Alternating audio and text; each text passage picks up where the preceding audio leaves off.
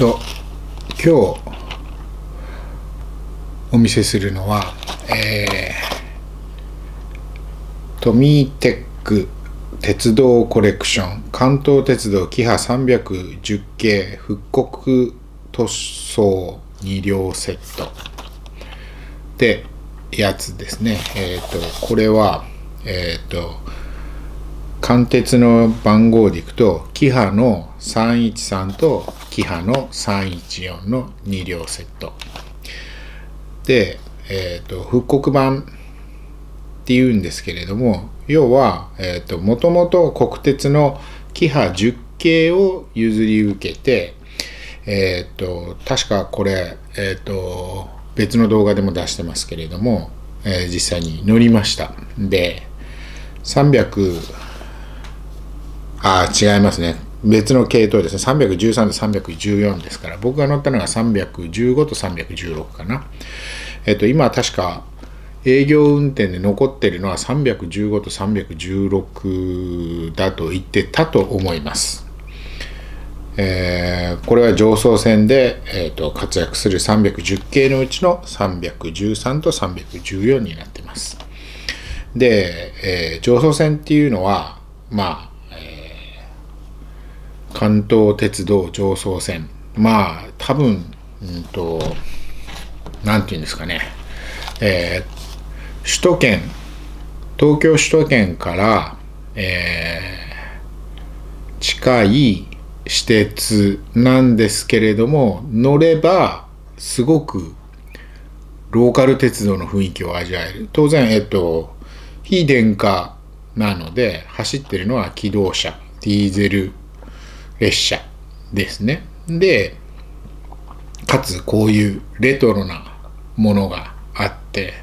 比較的東京からアクセスがしやすく、まあ常磐線乗れば取手駅に接続がありますし、えーと、TX のつくばエクスプレスに乗れば、えーと、守谷駅で、えーと接続があります。で、この関東鉄道上層線に乗って、えーとまあ、終点というかもう一方の橋は下館駅ですけれども下館駅まで行けば、えーと、そのまま、えーと、真岡鉄道に乗り継ぐことが真岡鉄道と接続しています。で、えっ、ー、と真岡鉄道乗れば、え、ー、と茂木まで行くことが下館から茂木まで行くことができますね。でこれも多分僕の動画にももう上がってると思うんですけれども、えっ、ー、と真岡鉄道に乗れば SL 真岡に乗ることができます。えっ、ー、と今はひょっとしたらあれだったかなコロナで運行が止まっていたかもしれませんね。まあちょっとコロナがこの先どうなるかはよく分かりませんけれども状況がよく落ち着けばっていう言い方を人はするんですけれどもコロナの状況が落ち着くっていうのは簡単なんですけどじゃあ具体的にどうなったらコロナの状況は落ち着いたと人は判断するんでしょう。これはすごく僕の疑問なんですけれども誰もその具体的な数値であるとか具体的な条件を挙げてなくてコロナが落ち着いたら。まあみんな言いますよね、コロナが落ち着いたら。それでいいんですけども、じゃあどうなったら一体コロナは落ち着いたと考えるのっていうところですね。例えば入院患者、コロナを病、コロナを主な原因とする入院患者が例えば何千名、何百名か知りませんけど、下回った時とか、新規の感染者の数が、まあ1日あたりとか1週間平均で何人を下回った時とか、具体的な数字がないと、コロナが落ち着いた時って言われてみんな何をもってじゃあコロナが落ち着いたって言うんだろうなっていうのはちょっと疑問がありますけれども。まあちょっとそれは話が横にそれましたけれども。このトミーテックが出している関東鉄道キハ310系復刻塗装2両セット。なのでこれは、えーと復刻塗装を国鉄国鉄時代の復刻塗装を施した関東鉄道の、えーと、車両です。で、えーと、これ自体は多分、えっ、ー、と、レールの幅は N ゲージだから9ミリ。あレールの幅という、まあ、レールの幅で合ってるか、えー、が9ミリなんで N ゲージの幅なんですけれども、これは2両は別に、えっと、モーターは積んでないので、このままだと、こう、飾っておく、見て楽しむというものになります。もちろんそれでいいんですけれども、そうではなくて、えっと、確かこれ、トミテックから出てますので、多分確か、えっと、下、車体、車体上の部分は、まあ、そのまま使って下の部分を、えーと、モーター搭載のものに変えればこの2両だけでもレールの上を動かすことはできるかと思います。でもこのままではえっ、ー、とまあ眺めるた見て楽しむセットということになります。まだ開けてないんで早速開けてみましょう。こういう感じで。あこれそうですね。あの他にもこう何て言うんですか、と見せるものっていうのは、えっ、とあったんですけれどもこれえっ、と付属品はいろいろ入ってるんですけれどもまず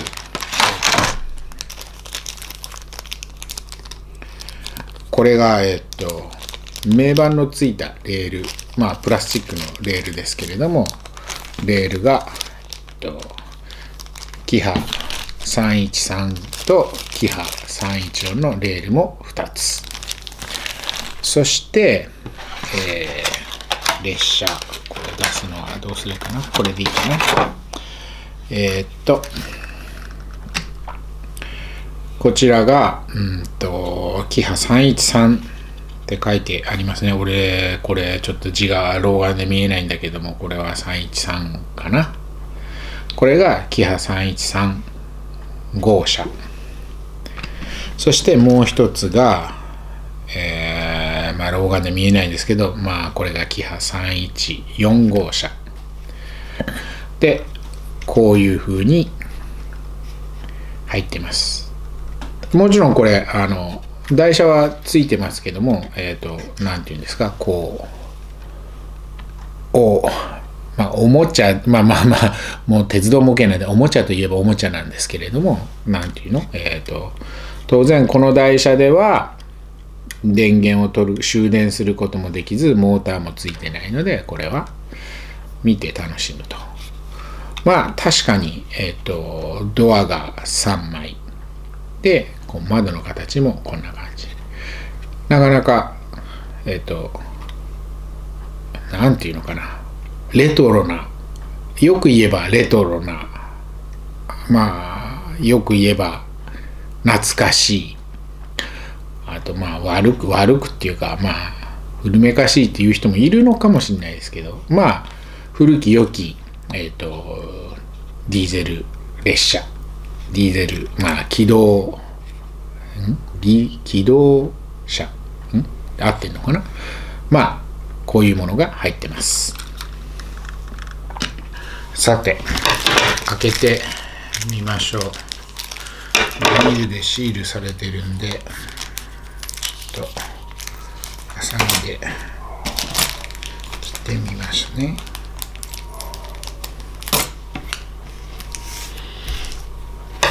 でこれが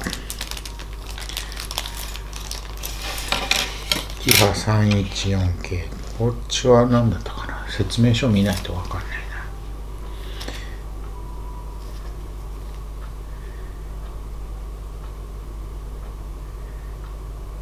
ヘッドマークはつくばねって書いてありますね。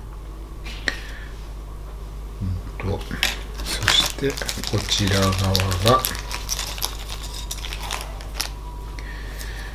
えっとキハ313ってことはまあ乗せると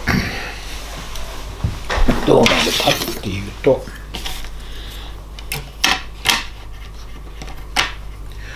313の人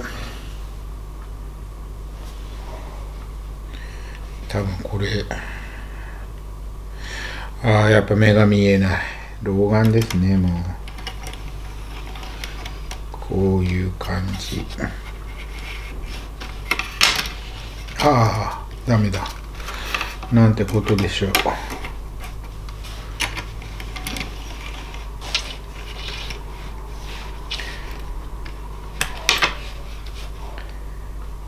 これが313でまあこういう向きに乗せるのかな。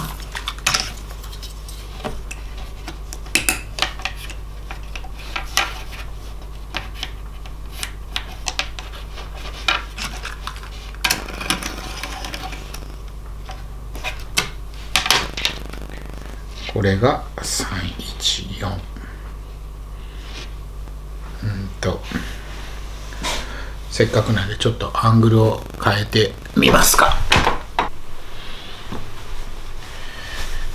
はい。こうすると,、えーと、画面向かって左側がキハ313関東鉄道の関東鉄道常総線の左側がキハ313、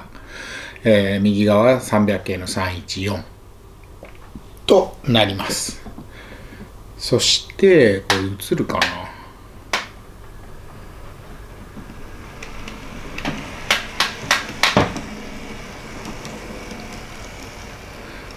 映ってますかね？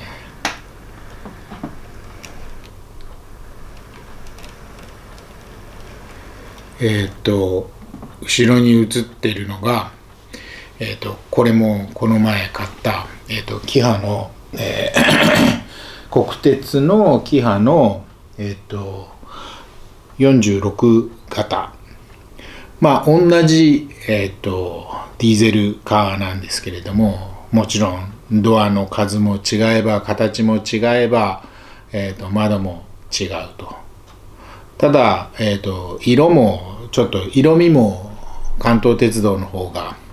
何て言うのかな。明るい色味に見えるんですね。カメラで色味がどのぐらい出てるか分かんないですけども。まあとはいえ当然その 屋根上の機器の状況も違います。っていうのはえっ、と関東鉄道のキハ310系っていうのは、えっ、と、国鉄から譲り受けた譲渡された車両を、下は、えーと、そのまま使いながら、えーと、上の側とは言わないのかな。車両部分は、えーと関東鉄道が独自にえーと、もう自分のものとして、えーと、作り直したという話だったですね。確か車内の扇風機だけは JNR の国鉄のマークが入ってるって言われてたような気がしますけど入ってたかどうかよく分かってない。まあまあでもあの要は国鉄チックな扇風機が回ってました。まあそれも動画で上げてたかもしれないですね。で後ろは国鉄のキハ46型。まあもちろん窓の形も違うしドアの数も違うしドアの開き方も違う。でもやっぱりこう両方ともその懐かしいシリーズ。まあ懐かしいシリーズ懐かしい。見るとああいい。よく言えばレトロな、まあ、悪く言えばというかまあ古いとは言うんですけれどもなかなか楽しそうな、えーとラインナップだと思います。えー、関東鉄道の車両はまあ飾ってるだけっていうのはあるかもしれないんですけれどもえっといろいろと考えるとやっぱこれもせっかく N ゲージというものに凝りまあ凝り固まってはまだいないですね取り始め使い始めたのでそうですねうまいことそのまだやったこともないんでわからないんですけれども、えーと、下を動くような台車に台車というかレール、まあ、車両の下の部分を土台の部分を動くようなものに、えーと、変えるっていうのも一つ手かなという気はしています。えっとこれでちょうど手前から若狭鉄道の左側が WT 3001えっ、ー、と右側が WT- の3003でその真ん中の奥が左側が関東鉄道のキハ313、えー、右側が関東鉄道のキハ314で奥が国鉄のキハ46型かな。えっ、ー、とこうなってくると何て言うんですかね、えー、ディーゼル列車。機関車ではないですからね。ディーゼル客車。ディーゼルまあ汽車。っていうのがこう並ぶとこんな感じになりますね。ちょうど若狭鉄道に乗りに行った時にえっ、ー、と基本やっぱり鉄印で、えーと、若狭鉄道には行ったんですけれども、うんと、なるべくその鉄道収益から得られる利益なんて大したことはないのでなるべくグッズとかそういうものをなるべく買うようにしてるんですけれども、えーと、若狭鉄道でもその自社の、えーとラッピングの車両のが販売されてましたので買いました。あ当然その貫徹まあまあ貫徹は第三セクターではないですけれどもね。まあ施設のローカルな施設と言っていいかな。ローカルな雰囲気を漂わせる施設ですね。でこういうのも売ってあるので買いました。当然奥はまあ N ゲージなんでこれはまあちょっと別物なんですけれども動くんですけれどもまあまあこれはキハも買いました。こうやって並べるとやっぱりこう機動車ディーゼル列車っていうものは味があるというかまあ古き良き時代というものを感じさせる構成になってます。